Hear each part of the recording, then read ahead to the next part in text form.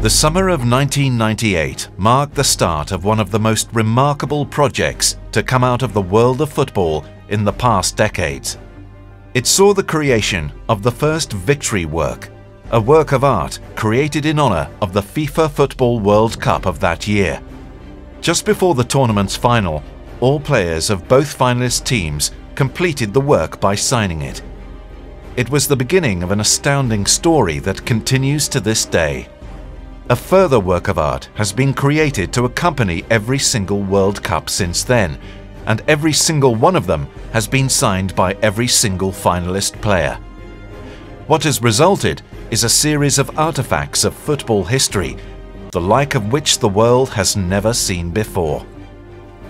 All victory works, as well as the underlying idea of the project, are the creation of one man, a Swiss artist known to the world simply as Dave. Although the victory works can rightfully be considered one of his most spectacular achievements, his artistic creations extend far beyond the realms of football. Over the years, his style has come to include elements from all kinds of art, merging sculpture, painting, performance, multimedia, and much more. It has quite simply become impossible to tie him down to any existing category of creative endeavor. He has become a master at mixing them all freely, to great and often surprising effect. The element of surprise is, in fact, often a central aspect of his works. He frequently employs a technique of painting distorted images across reliefs, making them fully visible only from specific perspectives, while mixing them with other images that can only be seen from other perspectives. What results are three-dimensional objects that seem to radically change appearance as the observer moves past them. Even if you have seen one of Dave's works from one angle, you simply have no way of telling what it is you'll see from another. Very often you will find that what you thought you were looking at turns out to be something quite different. Or you might find that what you thought you were looking at was never actually there in the first place.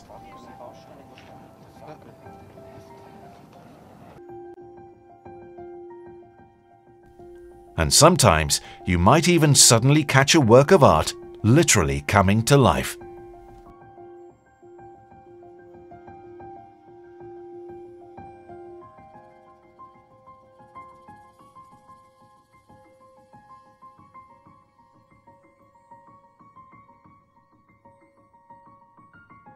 Despite all his other efforts, Dave remains firmly committed to the Victory Works project.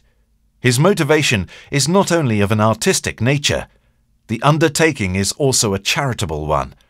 All the existing works, which have remained in his property until today, are destined to be auctioned off one day, with the lion's share of the proceeds going to charity. Specifically, Dave wishes to help children in need in developing countries. The victory works are important to me for many reasons, but most importantly it's about the children. It doesn't matter where you are born. Every child deserves to grow up in safety. Every child deserves to be fed. And every child deserves to go to school, to get an education, to get a chance of understanding the world we live in. In light of the project's importance in documenting football and World Cup history, and given its significant charitable aspect, FIFA has decided to officially support Dave in the creation of future Victory works. Starting, of course, with the one dedicated to the World Cup of 2014 in Brazil. For the Victory Works project as a whole, particularly as far as its charitable goals are concerned, the upcoming World Cup is of particular importance. Large-scale publicity has so far been deliberately avoided in order to build up a collection spanning at least five World Cups before unveiling it to the public. This goal will be reached in 2014, thus making the World Cup in Brazil the first major opportunity to present this unique part of football history to the public. The victory works are unique and irreplaceable artifacts of the most glorious moments in the past two decades of football, and true monuments to the players who have fought hard to make their way to the top of the football world. But in Brazil and thereafter, they also become something more, an acknowledgement of the unique chances that football brings today, and a testament to its potential for creating a legacy that goes far beyond the pitch. I think this is an opportunity to do something really great. The goal to prove more than ever that football is one of the most powerful forces on the planet. To prove that football can change lives, change people, change countries. To prove that football can make this a better world.